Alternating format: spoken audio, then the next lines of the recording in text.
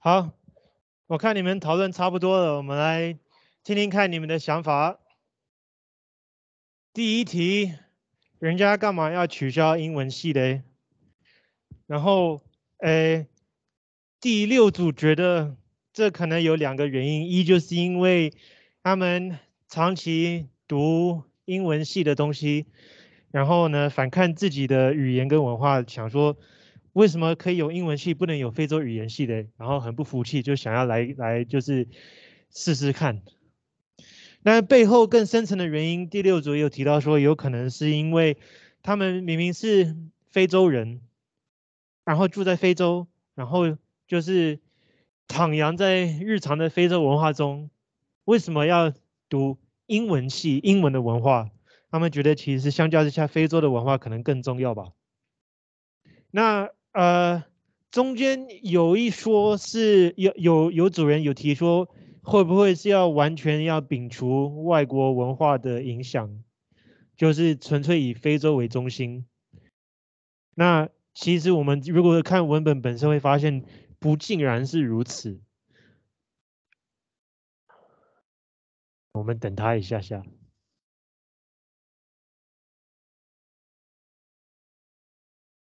电脑，你可以快一点吗？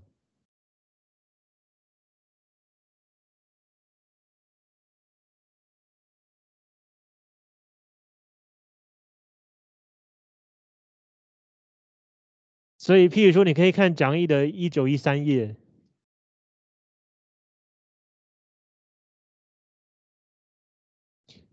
第六点这边。Here then is our main question。我们主要在问的是这个：If there is need for a study of the historic continuity of a single culture, why can't this be African？如果真的需要去研究。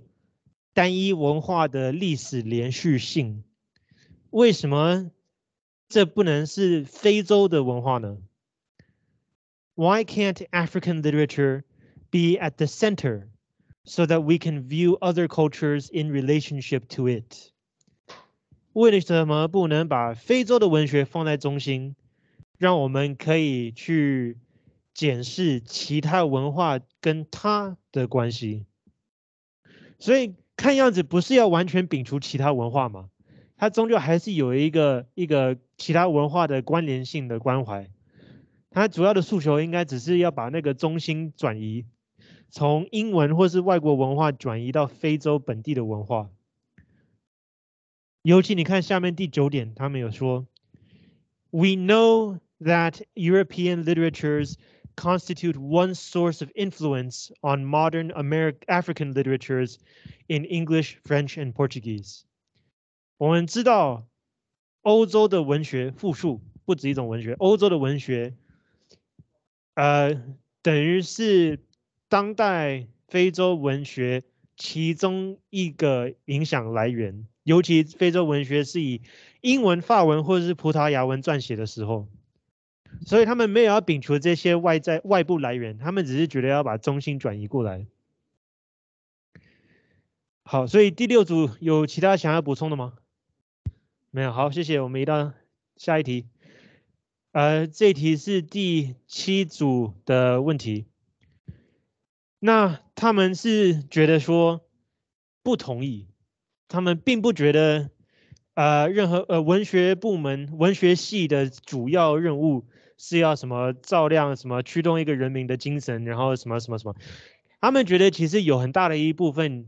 呃，不能忘掉的是，来这个系所就读的学生都是大学生，他们很多来就读这个系所是为了他们未来去去着想，所以好像不能百分之百都都沉浸在一个什么精神研究层面，还必须要那个让学生未来有发展的可能性。第七组是这样没错吧？是这样没错嘛？你们有要补充什么吗？好，谢谢。嗯，那这个我就其实我觉得是蛮有趣的一个想法，因为确实你们来读大学，呃，有很大的原因是希望未来可以找到更好的工作。不过他们这边讨论的系所是花束花束文学的系所。你们今天读的是应用英语系，着重在应用层面。那你觉得什么样的人会会想要去读文学的系所，纯文学系所？你觉得这样的学生，他们呃选择读文学的系所出来，有有一个相直接相应的工作可以去去就职吗？好像不是一个这么直接的一回事哦。呃，所以以一般。这个上大学的学生来说，确实有未来工作的考量，但我想这样的学生一开始可能就不会选择文学的系所吧。即便是考虑什么英文作为一种能力，也许会去选择读呃英文技职学校，或者是像我们的应用英语相关科系，不一定会去读一个文学系所。那就什么样的人会选择读文学？也许他们就读这个系所，他们要呃在乎的最最在乎的可能不是未来工作机会，那可能比较 care 说可以从中学到什么，或是就是我这个人经历在这个文学系所四年的经验，我会变成什么样的人，可以开发我的什么样的的思想层面。那如果是这样看的话。呃，会不会比较接近这三个作者讲的，什么照亮驱动人民的精神，去展示这个精神如何应付新的挑战，并且去呃研究发展与参与的可能领域？这个会是一个大学系所的精神层面所关怀的吗？我觉得有可能吧。当然，他的他的重点是放在自己人民的的精神。那就读一个大学科系，未必是研究自己人民嘛？但所以作者这边的的使命感吗？他设给自己设的目标，好像有一点点就是等于是在支持自己的论点。因为如果你接受他这样的说法，那必然的，这个系统应该就变成就是非洲语呃非洲文学系啊，嗯，但是不尽然吧？也许读一个譬如说德国文学系，你的目标，也许你想要了解这个人民怎么样怎么样，但也有可能你只是想要更了解他的语言呢。呃，所以我会我自己会觉得就是一半一半吧。啊，应该说三分之一，三分之一文化，三分之一语言，然后三分之一就像第七组讲的，就是未来的出路，可能是一个比较呃符合一般人对大学科系的期待一个说法吧。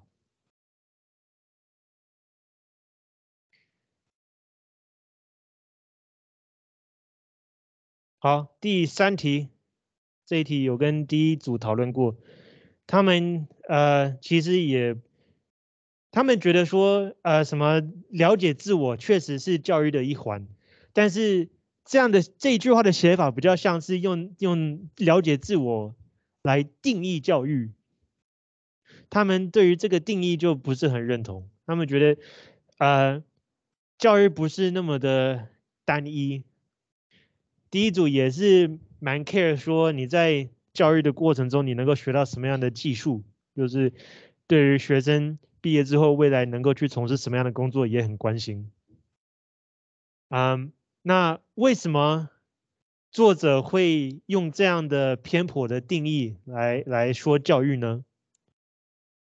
那第一组是觉得，这也是因为这篇文章的目的性，就是这个定义不是一个客观定义，而是一个支持作者论点的定义。就一样嘛。如果你接受教育的定义是为了就是追求自我知识的话，然后如果你是非洲人，那你想必会觉得说文学系当然要读非洲文学系了，因为这样才是跟自我最直接的关系。嗯，但是放眼就是天下所有的教育，呃，想必是有一些元素不符合这个定义的。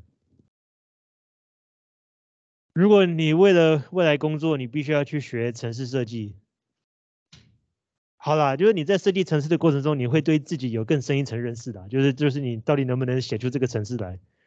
但是终究的目标是要能够写出来嘛。你对自己认识再深，你写不出来的话，你就是写不出来。所以第一组，第一组，你们有要补充什么想法吗？没有，好，谢谢。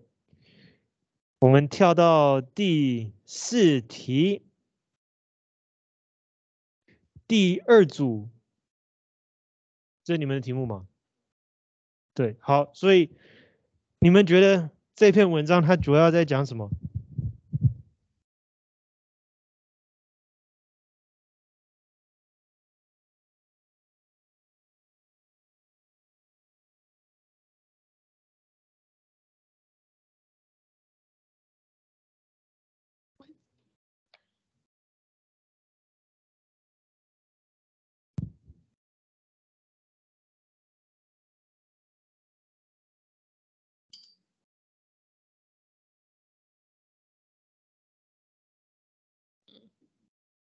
诶，嗯，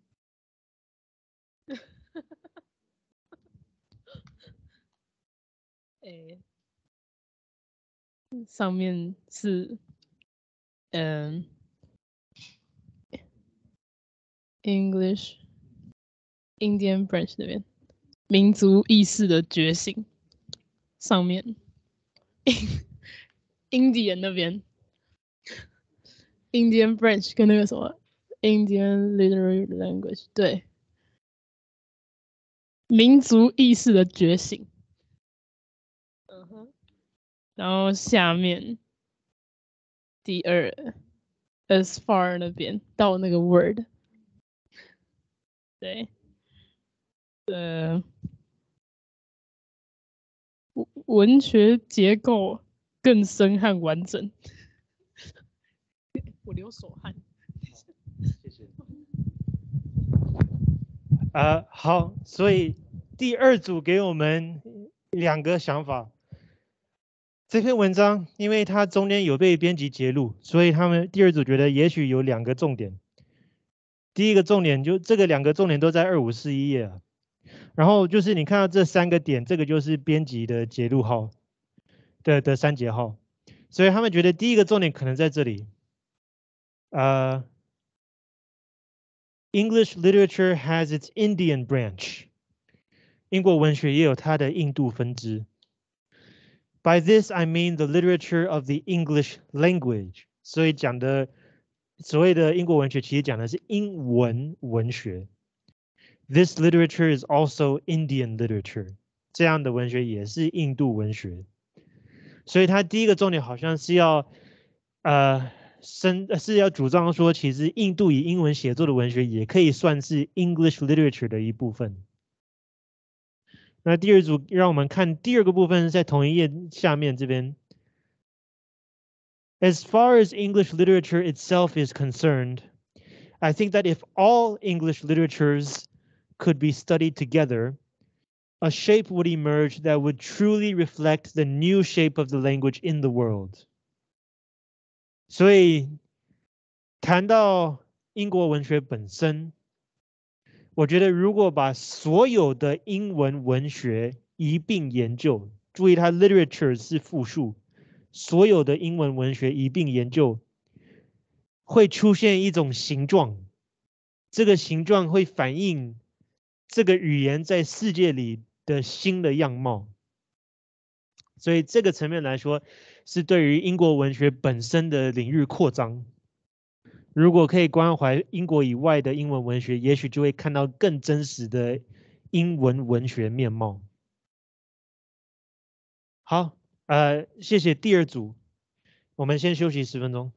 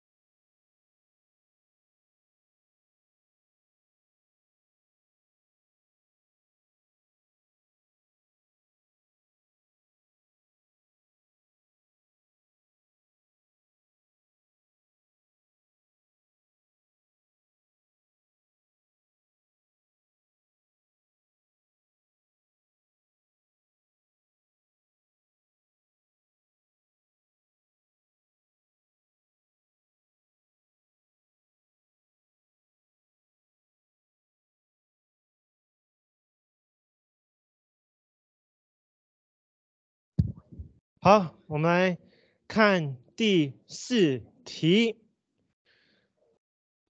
哎，第四题是哪一组啊？忘记了。我要重新推算一遍吗？来，第六组、第七组、第一组、第二组。第四题是第二组吗？对，刚刚讨论过了。我在干嘛？好，第五题。嗯，这一题，呃，有跟第三组聊过，我应该跟第三组聊过的吧？对，然后也有跟第五组聊过，基本上两组的看法很像啊。就这两篇文章对于英文的看法就是略有不同。我们刚刚有看到第一篇的作者觉得说，嗯，语言跟文学反映就是应该要反映当地的文化，那没有要完全摒除外在文化，但是，呃，还是应该以自己的文化为中心，再从这个中心去连接其他文化。但第二篇文章，我们刚刚也看到，他的主张恰恰相反。他觉得说，虽然英文这语言本来是一个外地语言，但是都已经在印度，呃，可以说就是有受印度的当地人使用习惯的影响，渐渐也变成印度本身文化的一部分了。那这两种看法之中，呃，你们这两组，你们自己觉得就是比较认同哪一种看法？第二种吗？所以，譬如说，在台湾，我们也是受呃日本殖民过的地方，嗯，但是好像也不用特别去去啊坚持一定要从什么角度去看外来文化嘛。我们也可以把日本留下来的元素也融入我们自己的文化背景吗？是这样的想法吗？好，呃，第五组，我刚刚有问你们吗？你们对于这两种看法，呃。比较认同哪一种？也是第二种。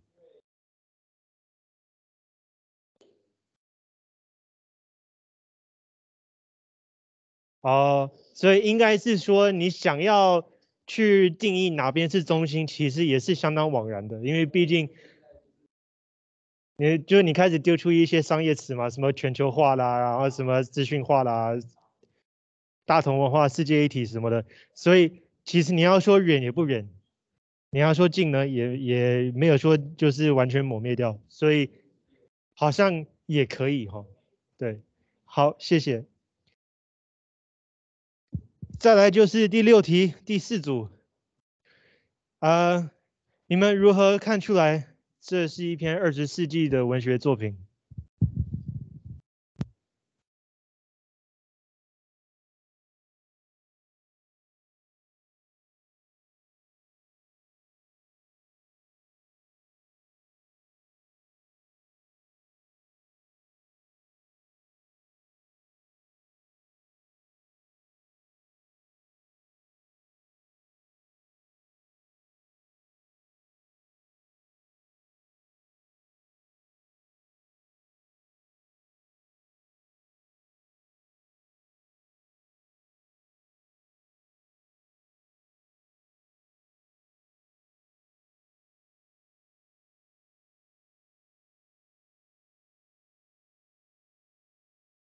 好，第四组觉得这两篇可以一起讨论，所以呢，我们就先来一起讨论。我们来看讲义上面写二十世纪文学的特征有哪些。呃，他们提到一九四七年印度巴基斯坦独立。嗯，没错，尤其是第二篇文章讲的是印度的英文文学。那这个讨整个能够讨论起来，就是因为印度独立了嘛，所以有一个讨论空间。那至于非洲什么的，就是下一行去殖民，啊后殖民文学，啊以及移民去英国的可能性，这些都是呃可以是讨论非洲文学本体论议题的几个面向，呃尤其那个移民的问题也是一个比较经济的面向。如果还是坚持以英文的文学、英国文学、英国文化为主的话，是否？间接助长了当地呃人才遗失流失，就变成一个比较直接经济的问题。但除此之外呢，后殖民文学也是一个自我本位认同的议题嘛。所以这是第一篇在讲的，主要就是这个。好，第四组提到就这两点，那其实我们还可以稍微旁敲侧击，还有还可以再把两点拉进来。第一点，一九二二年英国广播公司成立，BBC 至今都是一个全球非常就是知名的媒体公司。嗯。为什么会有一个去殖民的议题？就原因之一就是这个嘛，就是即便英国军队离开了，但是文化还在，甚至是就是国际广播也还是广播得到你这你这个非洲或是印度这个地方，所以才是一个去值得讨论的问题嘛。如果只是说英国人留下很多书，然后呢也留下很多什么英语言教科书，那如果你想要完全去去殖民化，那很简单嘛，就把书全烧掉嘛，就跟上一篇，呃，短篇小说讲的一样。但不止如此，因为英国依然还在传送国际上面传送他们的文化，还在输出他们的文化，呃，所以就更值得讨论这议题。另外一个可以拉进来讨论的是，一九六八年是反文化的历史高潮那一年，因为如果你仔细看的话，哎，就是这个，其实可以。仔细看的话，第一篇的写作年代是一九六八，就是那一年。所以为什么会在那一年有三个非洲任职的英文老师会想要甚至愿意提出一个改变整个系所定位的问题呢？因为他们也许也有连接到一个历史的脉动，反文化反的是掌权的文化，在一国之内就是政府。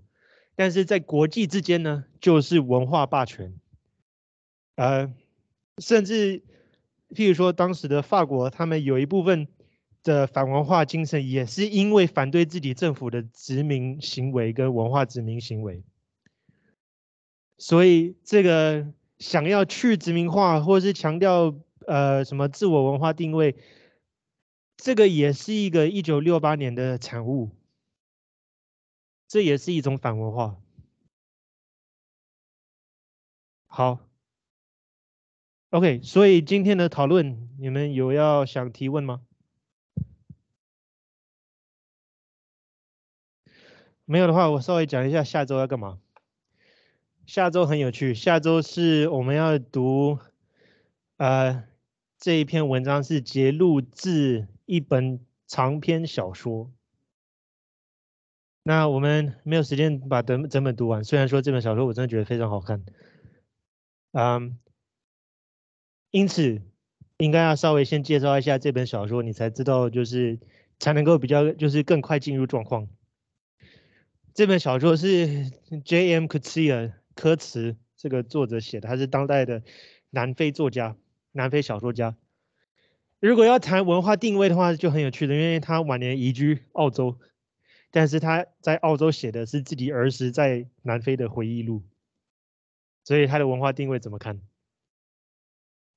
这本小说是他的代表作，《Waiting for the Barbarians》等待野蛮人。这本小说很有趣，因为它的时空背景不明，但是它又好像不是一个，譬如说，呃，奇幻文学，它是非相当写实，只是说。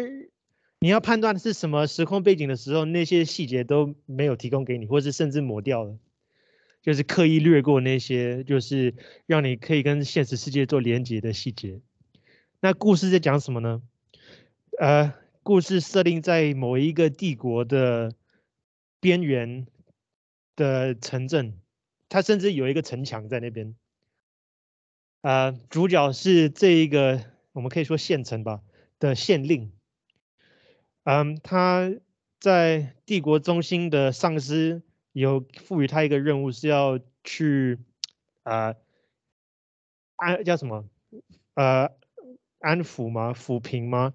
就是周遭的原住民。那其实这是委婉词嘛，就意思就是让人家不要对帝国造成威胁。所以呃绝对一点呢，就是把人家杀光。但是这个县令是有良心的，他甚至觉得。呃，这些原住民文化呢，让他很很着迷，但他着迷的不是当代原住民的文化，他就是看当代原住民的生活样式，他觉得其实相当像是这个标题写的野蛮人，看不出什么文化底蕴。他有兴趣的是周遭的那个荒地里面，时不时会发现或是挖出一些文字碎片，很多，但是他们都没有人看得懂，包含当地的原住民也看不懂。他对于这样的一个不了解的文化符码非常着迷。他曾经想要解读过，但是后来也放弃了，就是把它当做一个收藏。所以这一部分，呃，我们可以直接看到的是他对于一个异国文化的浪漫想象。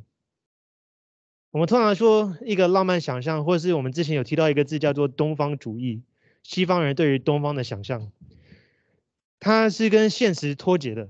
单纯是想象出来的，但是我们在现实生活中提到这个想法的时候，是确实有那个文化在那边，你才能够说人家想象的不对嘛？因为真的文化你可以拿来比较。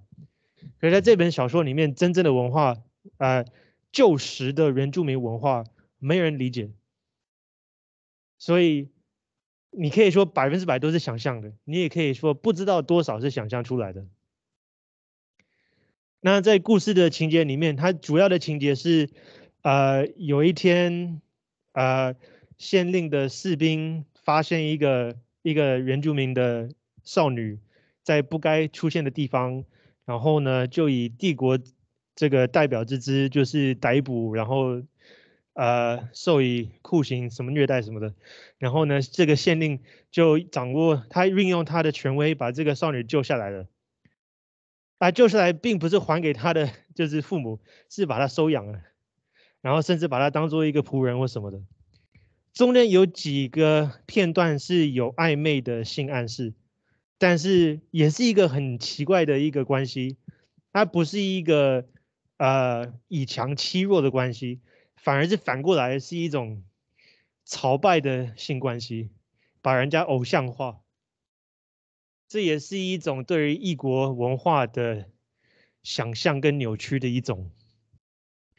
呃，我们上次读那个 Arabi 那篇就有提到嘛，呃，西方人常常把不管是近东还是远东文化想的特别的美好、特别的精致、特别的有文化涵呃文化涵养，这合成不是一种崇拜，然后借由崇拜来把它扭曲。好，这个是这本小说的故事背景，但是我们要读的这一段是从呃这本的中后期，中就是篇幅的中后那边，这个时候呢，他的帝国中心的上司终于发现这个县令其实并没有在执行他什么呃征服原住民的任务，所以呢，另外派的就是一个人来掌握当地的状况。人们只是要来掌握对原住民的关系或是征服，后来发现这个县令实在是就是，呃，中心他的他的中心好像放错边了，所以呢也把县令逮捕起来关起来，然后这个新来的人就当新的，呃，我们可以说呃代理县令吧。所以这一段文字讲的是。嗯，新的长官来了，然后就真的出去出征，然后抓到一群原住民，把他们带到市中心的广场，然后就是当庭当众的把他们凌虐，然后周围的人都像在看好戏一样。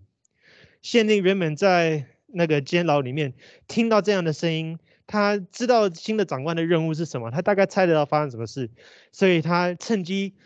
这个溜出去了，到了广场看到了实情，然后做出了令人非常诧异的反应。是什么反应呢？你们回去读就知道了。那其实讲到这边，也许你们会想说，这好像不太不大实际吧？当当众凌虐，然后周围的人还还把它当看戏哦。这个传统其实英国。以前有那种呃，我不要讲英国啊，我先从法国讲比较好懂。断头台你们知道吧？法国革命的时候，把一些上流贵族推到断头台，把头压下去，刀子哗一下来，头就断了，也是当庭当众发生的事情。当时的人把这个作为一种娱乐节目，英国也有，只是英国不是革命时期，是对于犯人的处决，也是用公开当庭吊死的方式。那吊死犯人通常是有固定节日的，或者是譬如说周末，然后呃，伦敦人就会把这个当做茶余饭后的娱乐节目之一。因为以前的人其实，在所谓的人权思想跟什么刚刚第五主题的世界大同这些想法出现之前，是是有时候是蛮残忍的。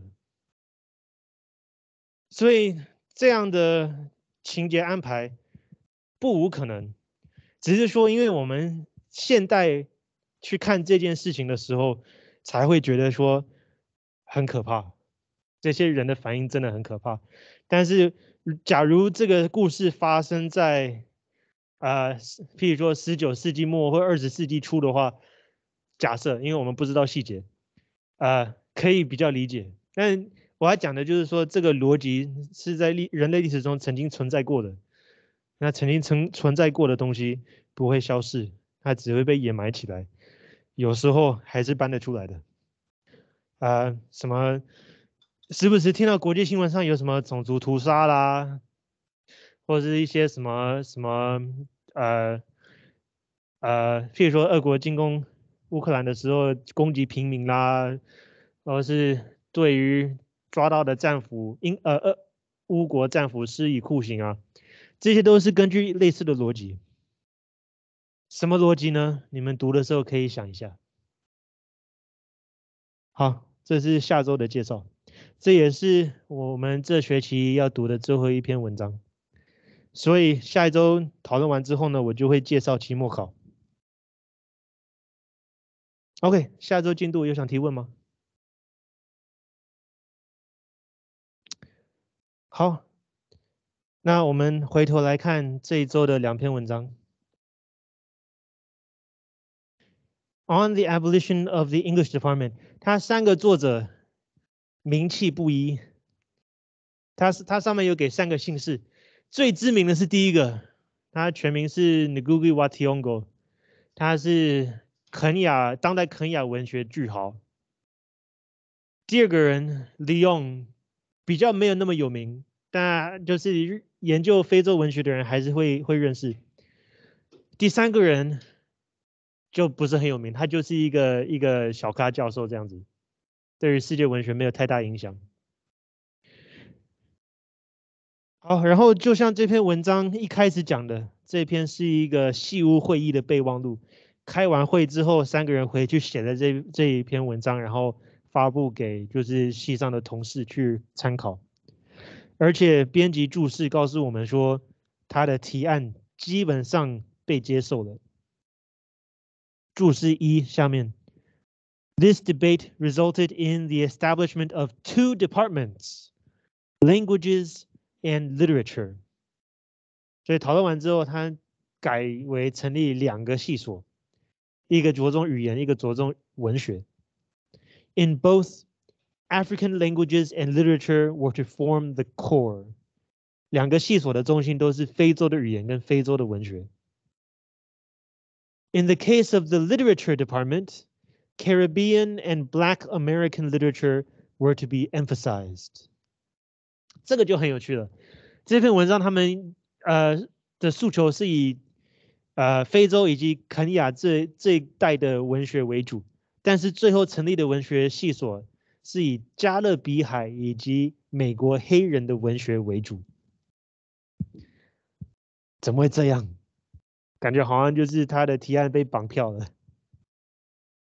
呃，有可能是因为一九六八年这个时候，刚刚第七组在讨论的时候也有提到，就是要他们去读当地的文学。那当地的文学有谁？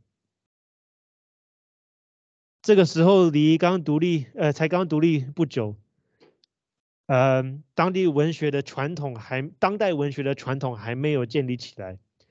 所以我在想，也许他们最后决定成立一个相关文学系所的时候。呃，比先着重在相应的黑人去殖民文学，譬如说，譬如说加勒比海的文学。我们上周读烧书那一篇就是加勒比海文学，或是美国黑人文学。那美国黑人文学就更悠久嘛，从有黑奴以来就有逃逃离的黑奴，就有白人就是怜悯黑人去教他们识字，然后逃离之后就可以写回忆录、写诗、写小说，希望可以呃让所有的黑奴都得以解放。所以黑美国的黑人文学传统历史悠久。嗯，听说第一艘奴呃奴隶船抵达北美是一六一七年，是不是？一六一九年，美国独立革命是一七七六年，所以你就知道黑奴比美国还久。好，所以这个备忘录是相当成功的。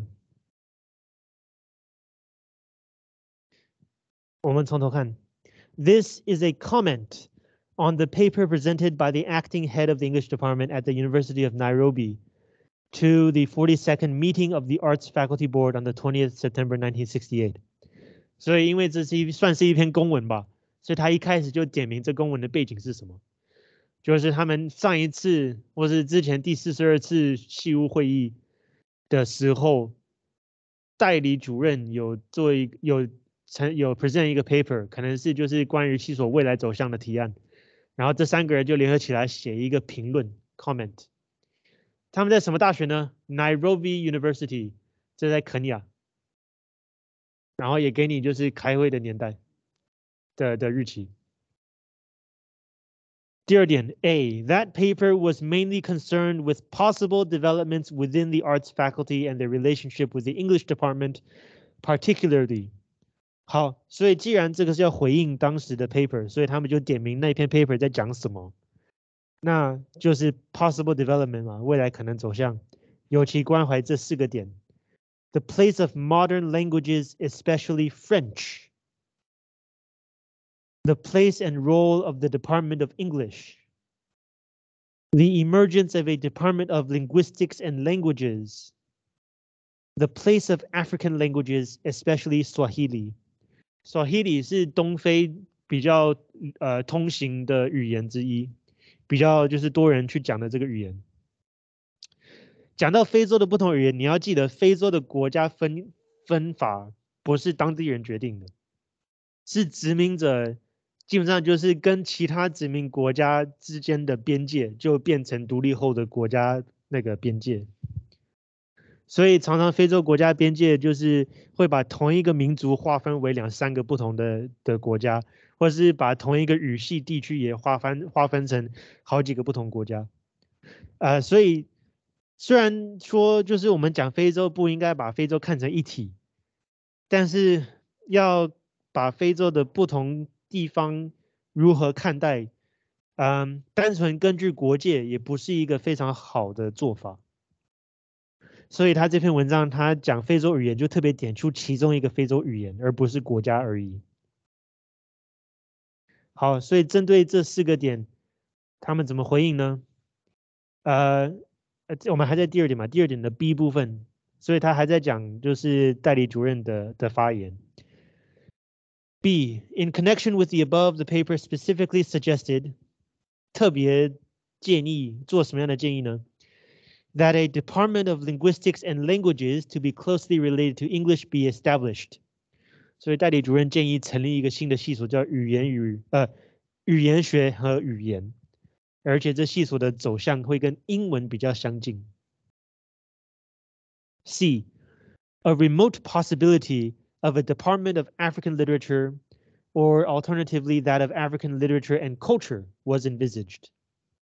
所以也有人提到，也也许未来可以成立一个非洲文学或非洲文学及文化的系所，但是这个可能性相当低。他说是一个 remote possibility，更遥远的可能性。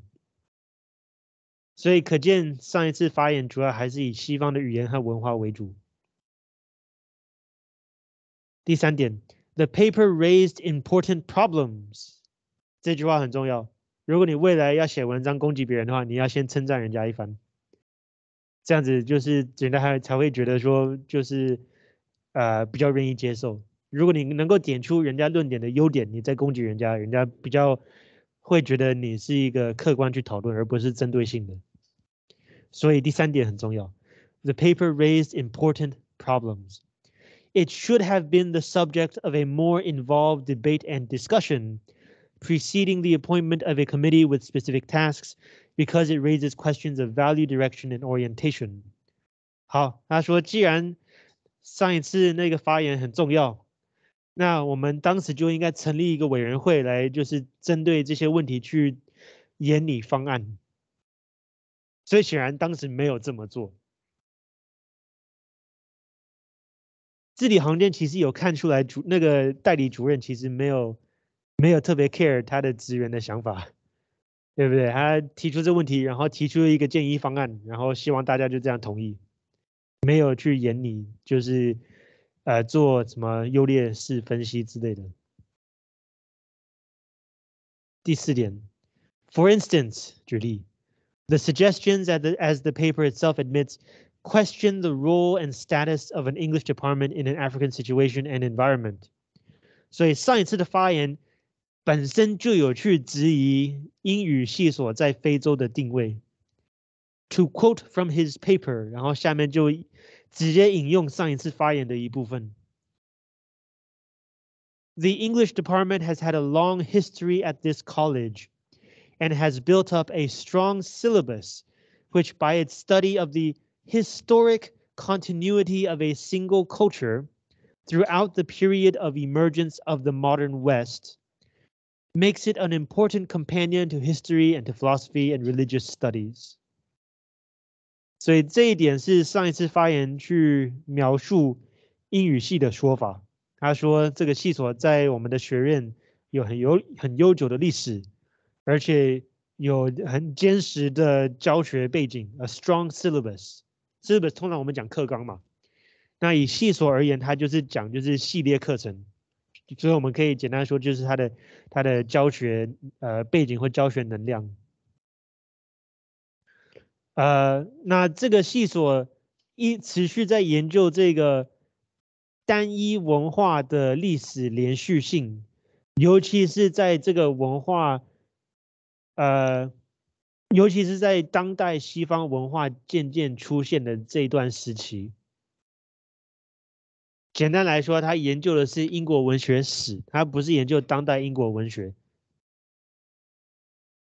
那因为这个原因，所以这个系所跟历史系和哲学与宗教研究系很能够搭配起来，an important companion。所以这是在描述他们系的、他们他们学院的英语系的当时定位。However, it is bound to become less British, more open to other writing in English, American, Caribbean, African, Commonwealth, and also to continental writing for comparative purposes. 这句话就很有趣了。他说：“It's bound to，势必。为什么势必啊？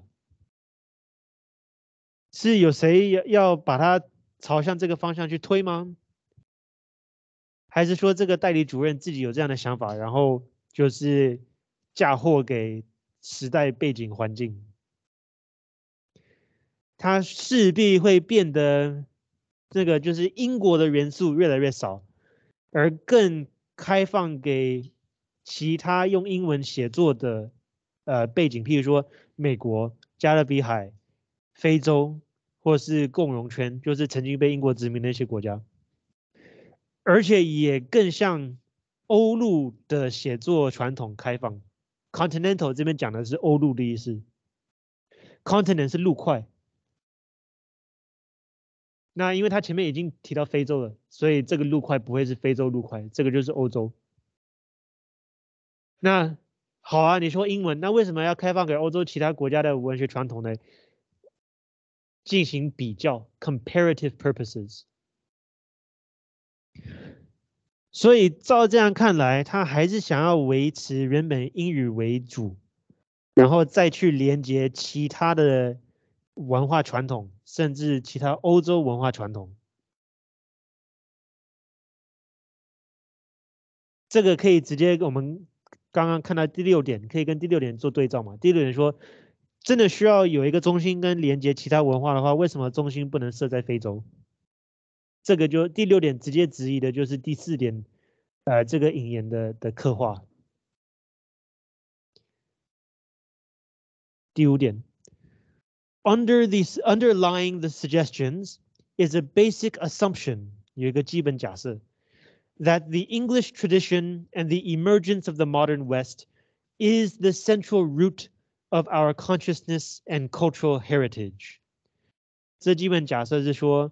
所谓的英文传统以及什么什么当代西方的出现，就是我们的意识与文化习产的中心跟那个根源。那你要记得，他这边讲的我们是非洲，所以他这样讲的话，这个基本假设确实好像怪怪的。Africa becomes an extension of the West. 这样的看法等于是把非洲当做西方的延伸。An attitude which, until a radical reassessment, used to dictate the teaching and organization of history in our university. 而正是这一个态度，曾经指使我们大学历史系的教学与组织，直到 有一个全盘的重新评估，a radical reassessment。radical 是极端的。那注释三告诉我们说，呃，所谓这个大学，就是呃当初叫做 University of East Africa 东非大学。然后呢，它原本有分三个校区，然后后面的告诉你三个校区分别三个国家，一个是乌干达，一个是坦桑尼亚。然后第三个就是前面提到肯亚，然后注释继续讲说，后来这三间校区后来就独立成三所不同不同的大学。好，回到本文，他提说这样的想法曾经也是我们大学的历史系的想法，但是有经过重新评估，所以他这边要提议的取消英文系，成立呃非洲文学系，不是史无前例的改革。同一所大学的历史系已经做过类似的事情了。Hence，因此，in fact, the assumed centrality of the English department, into which other cultures can be admitted from time to time as fit subjects for study, or from which other satellite departments can spring as time and money allow.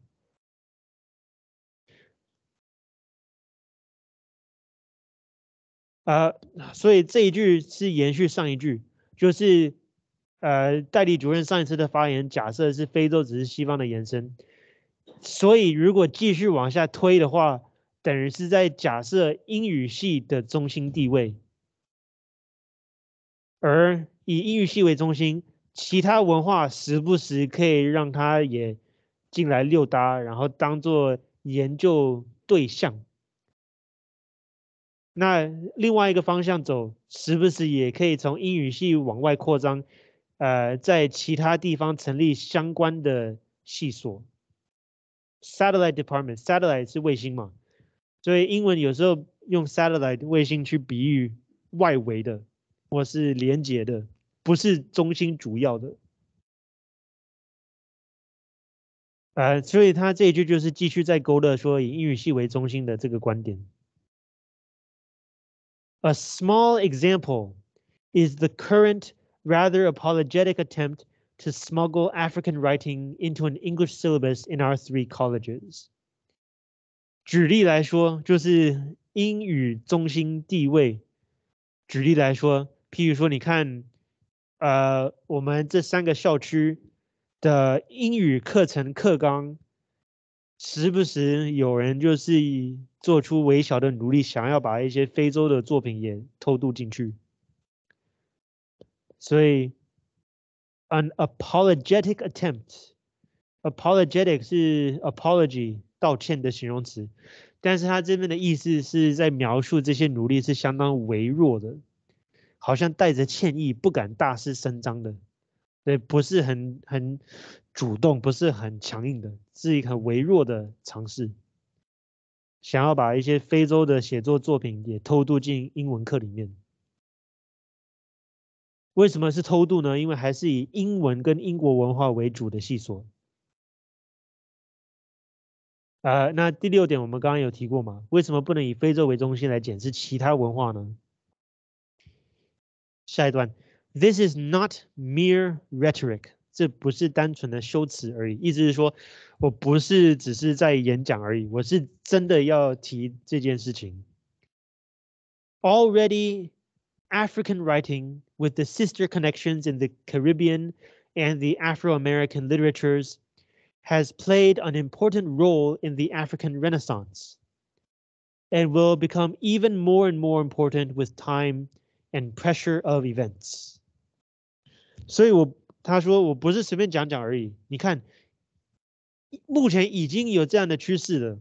非洲的文学，尤其是有连接的一些加勒比海文学或是非裔美籍文学，已经在非洲文化的重新复苏上扮演重要角色。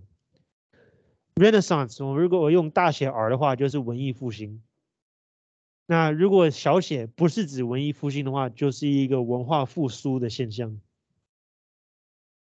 而且这个复苏现象只会随着时间跟历史的演进越来越重要。那我们就可以想想，为什么会随着时间跟历史的演进越来越重要呢？这可能就跟第四主题的嘛，这是一个。去殖民的后殖民文学时期，这个明目张胆的帝国主义、政治上的帝国主义已经退潮，所以这些新独立的国家在历史上只会有越来越重要的地位。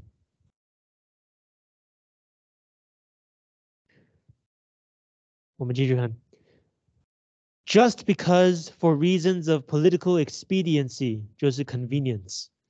we have kept English as our official language, there is no need to substitute a study of English culture for our own. 我们翻译的时候，把它就是呃颠倒过来翻，没有必要。只不过因为我们为了方便把英文留下来当做正式的语言，而用英国的文化来取代自己的文化。 这这样翻出来有听懂吗？有在听的同学，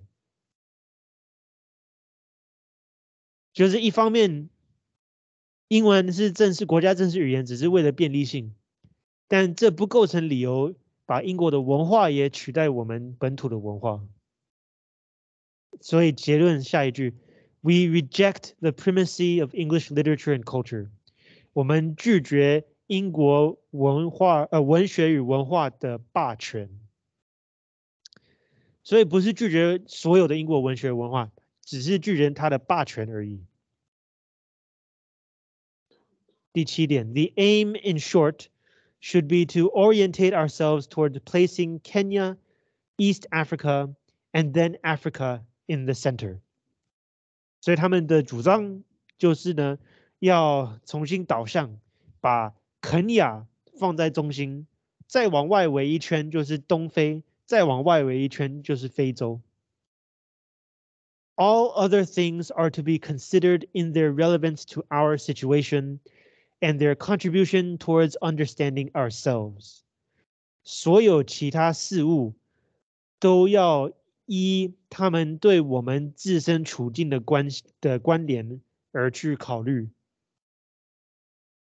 呃，以及他们对于我们了解自我能够做出什么样的贡献来考虑。所以他他当他说非洲本土定位，他不是讲假的，还是真的要把这个东西整个搬过来，然后需要的时候才去考虑其他文化传统。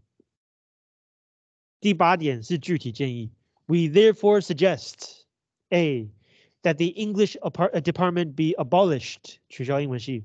B, that a Department of African Literature and Languages be set up in its place，取而代之的是非洲文学与语言系。 下一段是我们刚刚问第二题那一段，什么什么照亮驱动一个人民的精神什么那段。那我们 刚刚跟主人讨论的时候，得到一个结论，就是他这个不是完全客观的描述，他这个是为了支持自己的看法。确实如此嘛，因为他放在他提这个正式提案的正下方，就是他自己觉得最有利的说服点。下一段。In suggesting this name, we are not rejecting other cultural streams, especially the Western stream. 啊、uh,，stream 我们可以翻成流支或是分流。We are only clearly mapping out the directions and perspectives uh, the study of culture and literature will inevitably take in an African university. 我们只是要勾勒出非洲的大学研究文化与文学必然的走向跟观点。那这个 这个说法其实就跟代理主任上一上一次的说法一样嘛，他说什么势必会怎么样怎么样，这边也说这个是一个必然的方向。那究竟是不是呢？还是他只是想要用这样的方式来把他的论点框起来，看起来像是势在必得？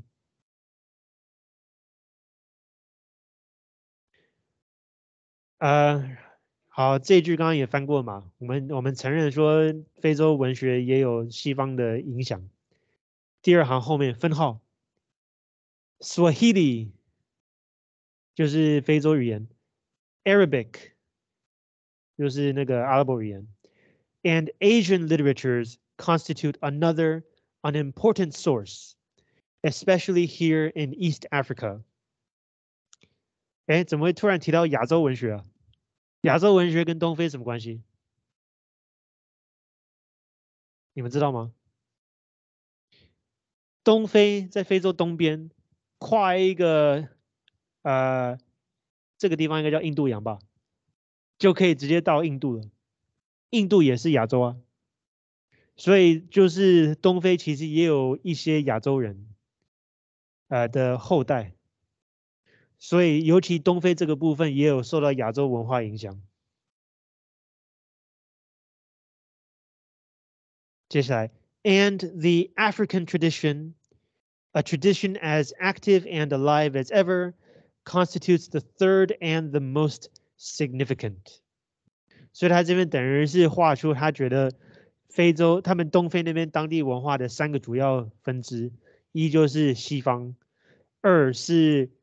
周围国家不是西方国家，周围国家，譬如说 Swahili 当地的非洲语言族群，呃，阿拉伯语的族群， 所以通常讲的是北非，以及亚洲，通常讲的是南亚的影响。然后第三个就是整个非洲传统。呃，作者觉得这是非洲文化的三大命脉，可以这样讲。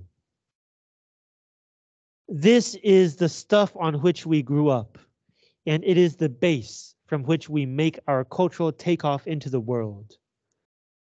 这个就是我们在这边成长的文化背景，也是我们出发朝向世界各地的文化呃起飞点。其实用这样的观点来看文化，我们也可以用这个观点来看台湾文化。台湾文化也是同时受到不同文化分支的影响吗？可以说有受到中国影响，有受到日本以及周遭其他亚洲国家影响。那当然也有也有受到就是西方影响嘛，全世界都嘛受到西方影响。那它中间有一个叫做非洲的传统，还有整个腹地都可以对东非造成影响。台湾有没有相应的文化影响？也许我们可以说，这个台湾原住民对于台湾文化的有有若干影响是有的。嗯，但除此之外，我们比较像是至少从台湾的历史来看，我们比较缺乏一个历史悠久的台湾本土文化。我们大部分文化或多或少都是从别的地方来的。呃，所以要比较的话，这个是呃这篇文章跟我们台湾处境比较不一样的地方。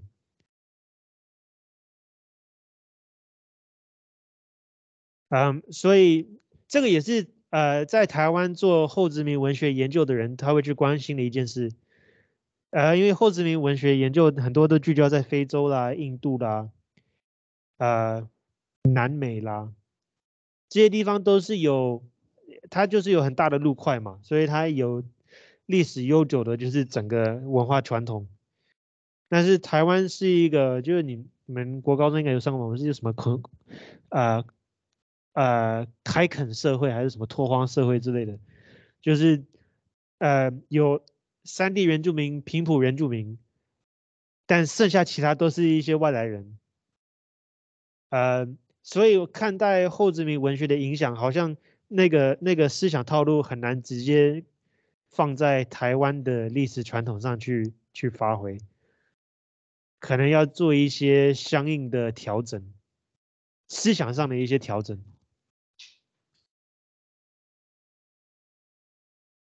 嗯，我们先上到这边好了。